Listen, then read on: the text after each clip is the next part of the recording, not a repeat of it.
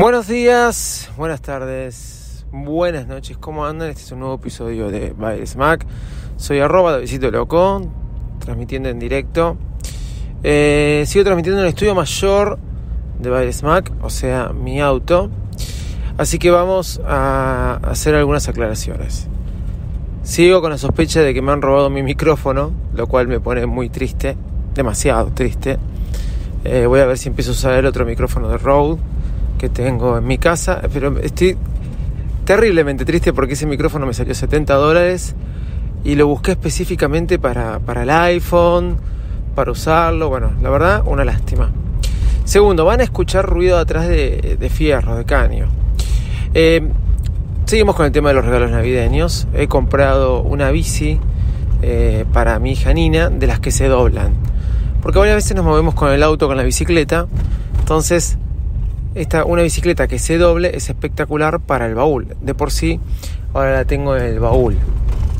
Lo que sucede es que le compré Vía, es una serie de Disney, ya la tenía vista hace tiempo. Y en la juguetería la tenían, juguetería o bicicletería la tenían a 22 mil pesos, más o menos. Y la conseguí por 19 en cuotas, en 9 cuotas, en, eh, eh, por Mercado Libre. ¿Sí? Hace tiempo que Mercado Libre te dice que ahora puedes devolver tus productos de manera gratis, fácil y sencilla. Cosa que nunca había probado, cosa que existe en Amazon, por ejemplo. Bueno, llegó la bici el 24 a la noche, el 25, Nochebuena, acá en Argentina abrimos a las 12 de la noche los regalos y la cosa es que eh, la armamos con mi sobrino, eh, que es ingeniero, tiene, se está por recibir tiene 21 años y yo inepto eh, no sabía cómo armar una bici plegable que se abre, venía toda armada la bici, solamente tenía que abrirla, eh, no sabía cómo poner las, las grampas que la unían, bueno, un desastre, un desastre. Mi sobrino me ayudó, la dio vuelta de una, una manera espectacular, como se dan vuelta las bicicletas, ustedes lo sabrán, para arreglar las ruedas. Eh, ¿Por qué estoy aclarando todo eso? Porque van a escuchar por eso dije algunas aclaraciones. Los ruidos que tengo atrás es de la bici. ¿Sí? Ruidos a caños. Y como les dije, la armamos el, el 24 25 a la madrugada. Él la dio vuelta, apoyó el asiento y el manubrio sobre el piso, mirando las ruedas hacia arriba para poder inflarla. Así que perfecto, pero yo le estaba dando la pedalera y veía que se trababa eh, a veces a pedalear. Conclusión, el 25 cuando Nina quiso usarla, la bici se trababa. Yo le dije, no, dale fuerte y se destraba. Pensé que era algo que se iba a destrabar, que no iba a pasar a mayores, pero no, no funcionaba bien. Así que ayer la llevé a una bicicletería. A todo esto la bici venía con un montón de stickers para poner en plásticos que venían para los rayos de la bicicleta, adornarlo. Y mi hija Nina con su primo, mientras las armábamos, la llenó los stickers sobre la bicicleta y los plásticos eh, los tiró por todos lados. No importa, yo los junté. Conclusión, señoras, señores, la bici eh, no anda, está defectuosa, ayer la llevé a una bicicletería. No tengo ni idea dónde quedó eh, el tema de la garantía, me imagino que quedó dentro de la caja, la caja la tengo, no me fijé porque en ese momento había un descontrol, regalo va, regalo viene. Ya hice mi queja en Mercado Libre y pedí reemplazo, no devolución. Pedí otra bicicleta y dije cuál era el desperfecto. Vamos a ver si la bicicleta me la toman. Tienen hasta el 31 de diciembre para contestarme. Esperemos que me contesten. Y si no me contestan, estaremos frente a un problema. Mercado Libre, fuiste la estrella, una de las salvaciones en esta pandemia. ¿sí? Y eh, te quiero decir que dos cosas nunca me llegaron eh, de lo que va del año. Apenas empezó la pandemia, ah, claro, soy ferviente admirador del Mercado Libre, pero apenas empezó la pandemia, no me llegaron un portazapatos, sí, un plástico que se ponía en el zapato para no pisar con los zapatos por la calle, número uno. Número dos, sí, sí, en serio, este, nunca me llegó. Me, me, me dijeron que me lo despachaban, todo perfecto, pibicú, nunca me llegó.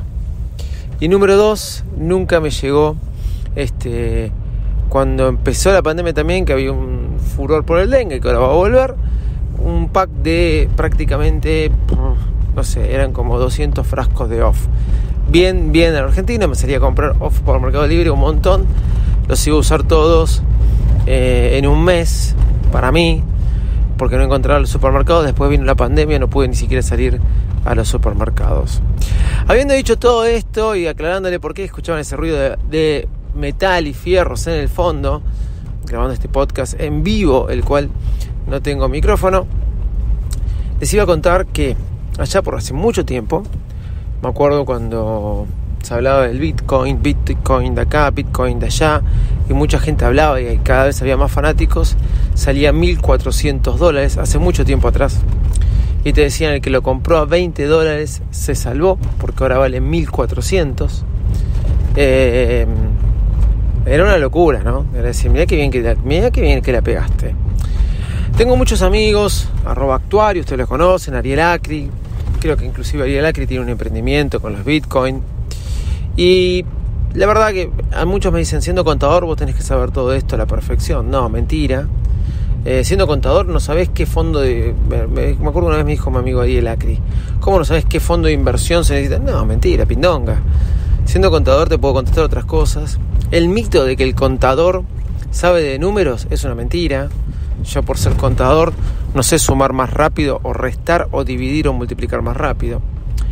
Segundo, eh, yo como contador, bueno, no, que laburo y me va bastante bien como contador público, pero son todos mitos, así que uno no tiene por qué saber acerca de esto. Una cosa es la economía financiera o, alguien que haga trading en, en, la bolsa, otra cosa por qué saberlo. Pero bueno, nada, siempre miré el Bitcoin, siempre dije alguna vez voy a comprar, nunca más voy a comprar, no sé cuándo voy a comprar. Eh, le he preguntado a mi amigo actuario y me, y me dijo, ¿para qué lo querés? Y yo le dije, para jugar, nada más, para probar, jugar, nada más. Y dije, bueno, compré uno. ¿Sí? Bueno, me explicó, pero una cantidad de cosas muy buenas, cómo se mina este, de Bitcoin, cómo se crean, cómo se hacen, cómo el blockchain y todas las cosas, bueno, pero infinidad de cosas. Conclusión, conclusión, sí. Eh, compré Bitcoin, nada más. Ayer por primera vez vi que llegó a los 27 mil y pico de dólares. Y dije, bueno, para, yo no me puedo quedar afuera de esto. Voy a comprar un Bitcoin, sí, 27 mil dólares. Si yo tuviera 27 mil dólares, no compro un Bitcoin. Porque es apostar. Ahora está a 26.500. Hubiera perdido mil dólares ayer. Va a seguir subiendo.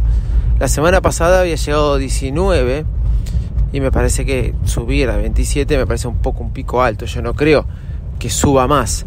Pero sí con el tema del dólar acá en Argentina, realmente creo que es como mejor inversión comprar un Bitcoin. Que si vos compraste, qué sé yo, 100 dólares en Bitcoin y de repente de 19 y estaba en 16, se pasó 19, 19, se fue a 27, hoy está a 26.500 ¿por qué no hacerlo? Y como Baires Mac es un podcast desde el usuario, capaz que ahora se me mete en todo lo que son las criptomonedas, eh, voy a contar mi experiencia de usuario de comprar un Bitcoin. Lo compré justamente, como quien dice, por mercado, con Mercado Pago. Sí, lo compré con Mercado Pago, para que les parezca mentira. Porque es una aplicación bien eh, argenta, pero que funciona muy bien, de la cual yo tenía cuenta hace varios años atrás, cuando ya quería comprarme un Bitcoin. Miren lo que les estoy diciendo, hace dos años atrás. Si lo hubiera comprado, ¿no? Ahora quiero que se vaya a 50 mil dólares, ¿no? Compré solamente 1.500 pesos. 8 eh, dólares con 70 creo que fueron. Creo que me, me los cobró. Nada, nada. Pero bueno, tengo 0,00030 333,14 centavos de Bitcoin, que equivalen a 8,66 dólares. Hace un ratito equivalía a 8,71 dólares. Está bajando el Bitcoin. Ahora está venta 25.986,68. Justo el día que compré, bajó. Nada más invertí 1.500 pesos. Es la única aplicación Satoshi Tango que me había recomendado mi amigo actuario cuando ya le había preguntado otra vez antes de ahora. Eh, Satoshi Tango, una aplicación que recomiendo, se puede comprar con efectivo en un pago fácil, se puede comprar con transferencia bancaria o con mercado pago. Y si no, tenemos la aplicación Belarga RD, que también no solo tanto Satoshi Tango como Belarga RD eh, nos permiten comprar eh, Bitcoin, sino que también otras criptomonedas. En Satoshi, en Satoshi Tango vos tenés que registrar, identificar tu identidad, mandando tu documento, DNI, diciendo que no sos persona políticamente expuesta y todas esas cosas. Una pavada. Cosa que me parece bien. En su momento no le di curso porque me dio miedo, pero ahora ya lo hace Mercado Pago. Otra, en su momento hace como dos años atrás. Así que les cuento que más o menos fue por ahí. Ahora bien, en BRD te hace establecer, te, da 12 palabras, que son las 12 palabras de tu billetera, y vos este, tenés que recordarlas, anotarlas en un papel, porque al momento de entrar o hacer una transacción te pide alguna de esas 12 palabras al azar. Tenés que anotarlas con tu, eh, cómo te las ponen, con la mayúscula que te la pone, con el acento que te las pone. Palabras simples, ¿eh? pero totalmente al azar. Desde las dos aplicaciones podés comprar. Desde BRD, que es más internacional, eh, podés comprar con una cuenta bancaria, con una tarjeta de crédito o con Apple Pay, por ejemplo lo cual es muy bueno. Nada, mi experiencia de comprar directamente muchos sí te explican cómo se generan, cómo se hacen las criptomonedas, papá, papá, pero al fin y al cabo con estas dos aplicaciones podés comprar y vender Bitcoin y después podés transferirlo a tu cuenta bancaria o a donde sea que tengas ganas. Lo que no encontré todavía es comprar con PayPal, ¿sí? así que voy a ver cómo compro o qué aplicación o qué billetera me deja comprar con PayPal. Voy a seguir contando acerca de esto, arroba de Visito Loco en todas las redes sociales. Desde ya, chau y muchas gracias.